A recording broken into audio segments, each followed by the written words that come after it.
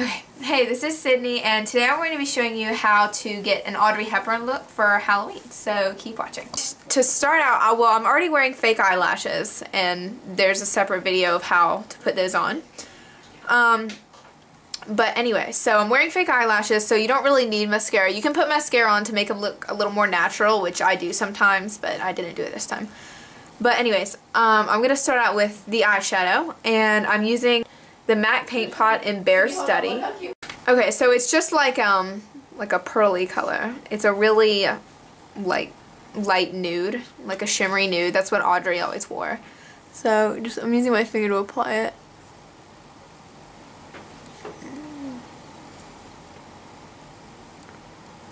Okay, so after you put on that, we're going to use, okay, this is from the NYX Mysterious Brown Eyes.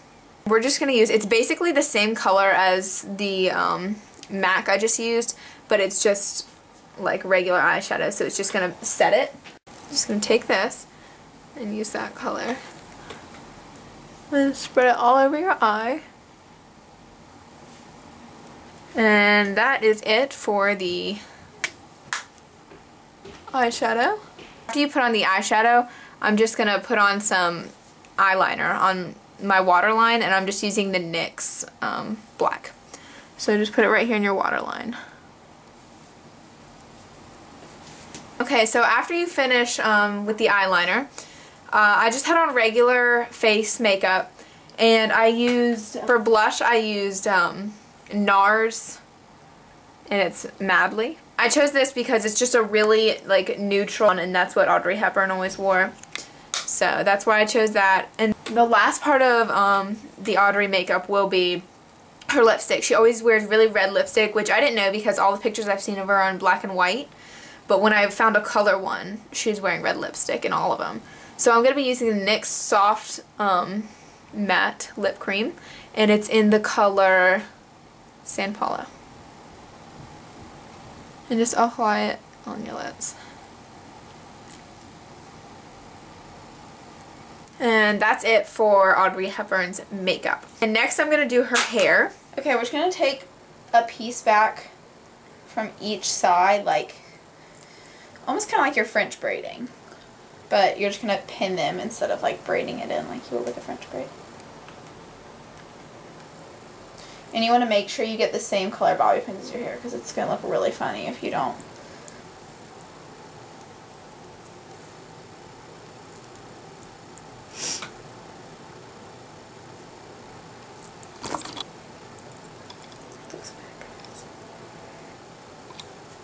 Alright, and then when you get to the end, it's going to start looking kind of funny, obviously.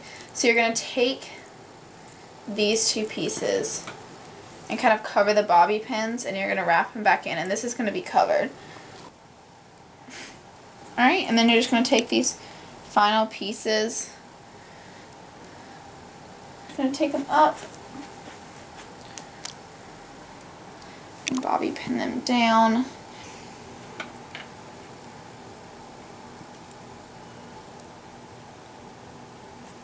After you finish your hair, you're just going to take a tiara and put it in your hair. And I know she wears like a really small one, but this is the best I had, so you're just going to put that on. Okay, so this is the final look for Audrey Hepburn.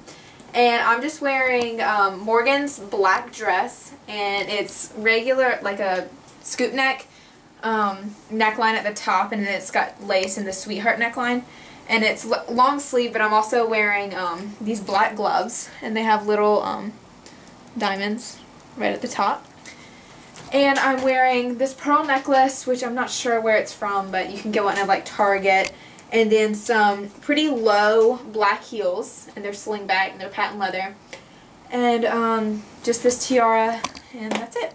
Thanks for watching, and if you end up doing an Audrey Hepburn look, I'd really like to see it, so you could tweet me a picture or comment below and tell me if you do it. Um, so yeah, thanks for watching.